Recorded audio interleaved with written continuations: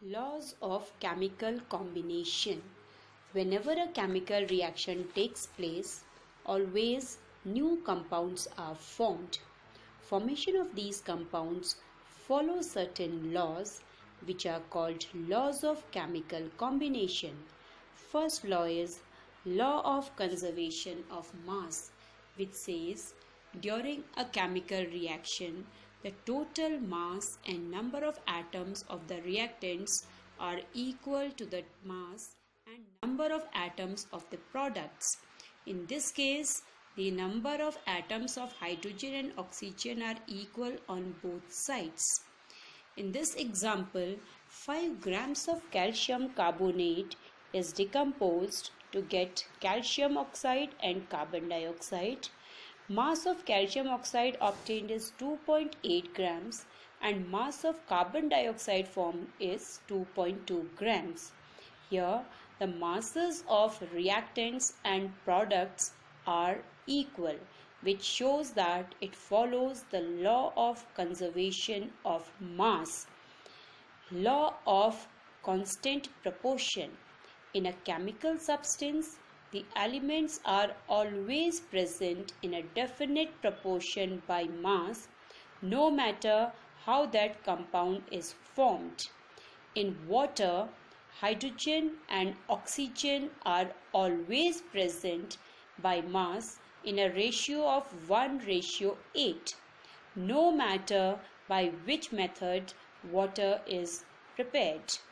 Law of multiple proportion this law states that when the same two elements combine to form more than one compound, then the ratios of the mass of one element in the first compound to its mass in the second compound as it combines with the same mass of the other element can always be expressed as ratios of small whole numbers.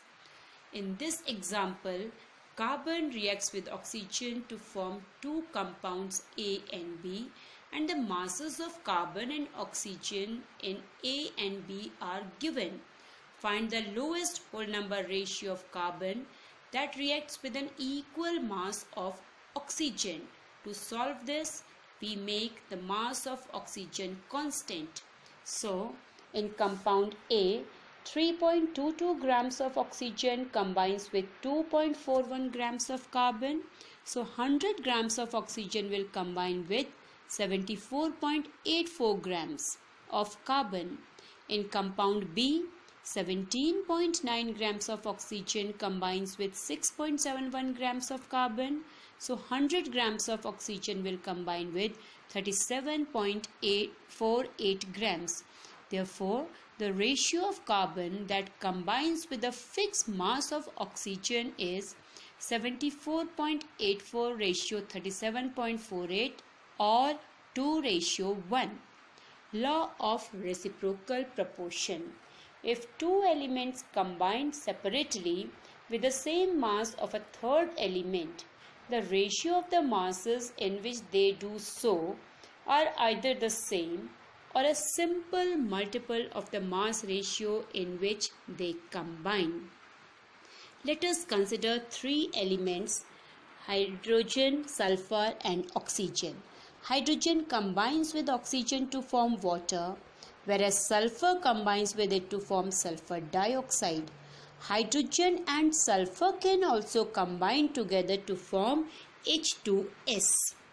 In this case, they follow law of reciprocal proportion because in water the ratio of masses of hydrogen and oxygen is 2 ratio 16 in sulfur dioxide the ratio of masses of sulfur and oxygen is 32 ratio 32 therefore the ratios of masses of hydrogen and sulfur which combine with a fixed mass of oxygen say 32 parts will be 4 ratio 32 or 1 ratio 8. When hydrogen and sulfur combine together, they form H2S in which the ratio of masses of hydrogen and sulfur is 2 ratio 32 or 1 ratio 16 which is a simple multiple ratio of 1 ratio 8. Therefore, the law of reciprocal proportion is followed here. Gay-Lussac's law of combining volumes of gases.